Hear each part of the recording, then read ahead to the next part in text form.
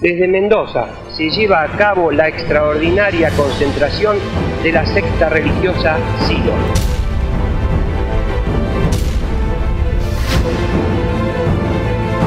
y has venido empujado por los calumniadores y los hipócritas a escuchar a este hombre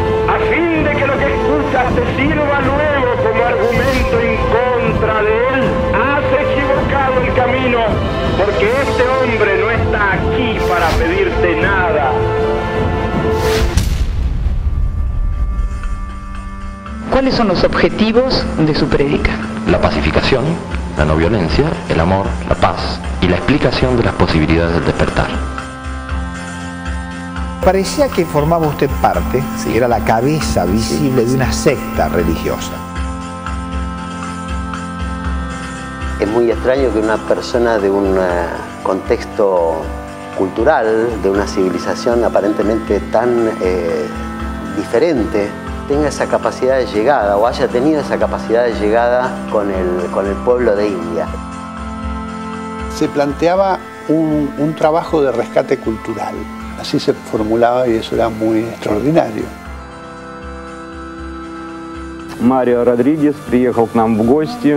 Silo le hacen la distinción de eh, nombrarlo doctor honoris causa de la Academia de Ciencia.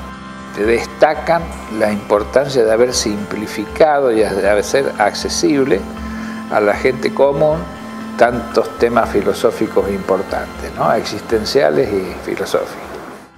Bueno, no es habitual que alguien que reflexiona desde Mendoza logre un millón de personas que compartan su pensamiento en el mundo. Digo, no hay otro caso en Argentina. No, no creo que haya una cosa así. Si no eres indiferente al dolor, Научись относиться к другим так, leer anderen te behandelen op de wijze You are indifferent towards the pain and suffering of others. A v lidské společnosti. Sont remerciés en ton intérieur. Me parece que Silo trata de decirnos que hay que evolucionar y que lo que estuvo haciendo a lo largo de toda su vida fue tratar de transmitir, viendo la diversidad de las personas y de las culturas, encontrar la forma que le encaje a todos para ir hacia la misma dirección, esto de evolucionar.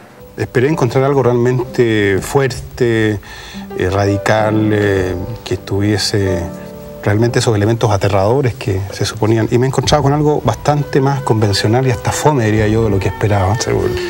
Bueno, ¿y qué es? Y no sé. Tampoco importa, en Lo, lo importante es que te ayuda a salir de una situación de sufrimiento en tu vida, digamos. Y que eso que estás haciendo por otros es bueno para vos y es bueno para la humanidad y estás aportando al mundo. Eso es lo importante. Para mí, ¿no? Después, si es una religión, si es una secta, ¿eh? un carajo. Que digan lo que digan y. Está bien. Usted tiene aspiraciones políticas por lo que veo en su discurso. No tengo aspiraciones, pero sí preocupaciones. Esta nación humana universal tiende a desarrollarse pese a la uniformidad que han pretendido establecer los imperios en sus momentos de máxima expansión. Hay un principio muy simple que tenemos los humanistas que es cuando tratas a los demás como quieres que te traten, te liberas. Y puede sonar muy simple esa frase, pero no es usual que se use en los ámbitos políticos. Lo que más importa es que tengas sensibilidad. Porque de expertos estamos llenos, pero de sensibilidad pocos.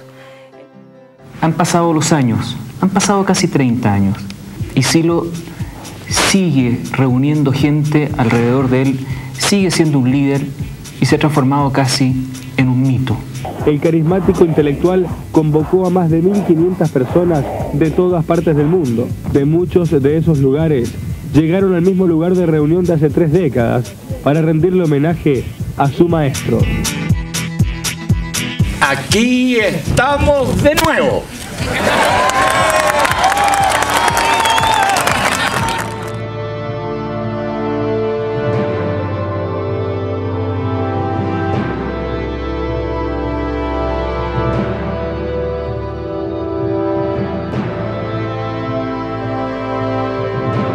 Es la fe en la justicia de nuestra acción.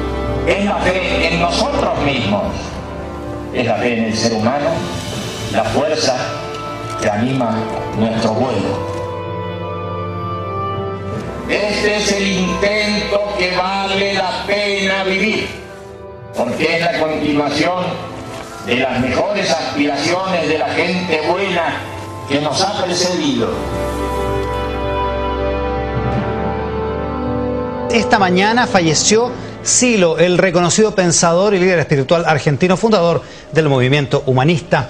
Mario Luis Rodríguez Cobo murió a los 72 años en su casa de Chacras de Coria, muy cerca de Mendoza, su ciudad natal. Estaba acompañado por su familia y sus amigos y sufría una grave enfermedad. De mi obra no creo que sobreviva nada, porque... ¿Y qué rescata lo más importante, por lo menos? Yo creo que la obra misma es un pretexto de comunicación con la gente.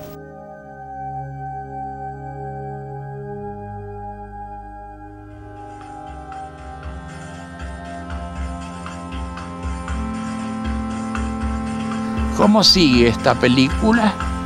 ¿Es que usted termina para siempre? ¿O es que algo continúa en usted? Usted quisiera tener respuestas sobre eso antes de partir, porque partir es seguro que va a partir.